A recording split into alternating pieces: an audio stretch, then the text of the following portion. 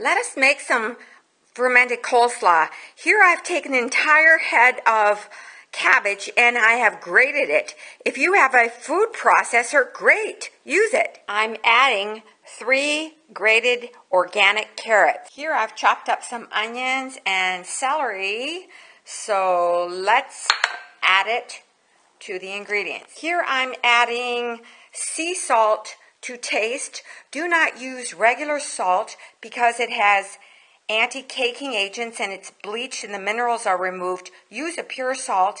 And then I'm going to grind some pure pepper. As an option, I have ground some mustard powder and I am going to put some on here. That's just an option if you like a little bit spicy. Here I'm going to add some mayonnaise to this uh, the mayonnaise that I found has about five ingredients, not all these chemicals, and that's what you should look for. Here I have mixed it all up. Of course, I add a little bit more mayonnaise and give it a little taste.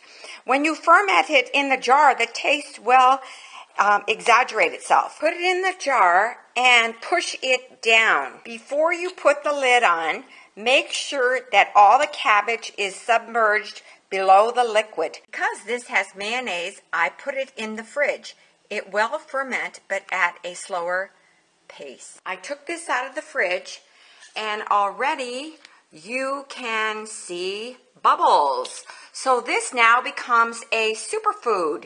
It is high in vitamin C, K, iron, magnesium, calcium, increases metabolism, boosts circulation, oxygenation, blood flow. Uh, Google the health benefits of fermented sauerkraut. If you like the information I'm giving you, subscribe to my videos and visit me on Farmer Food Obesity Solution WordPress.com. Enjoy.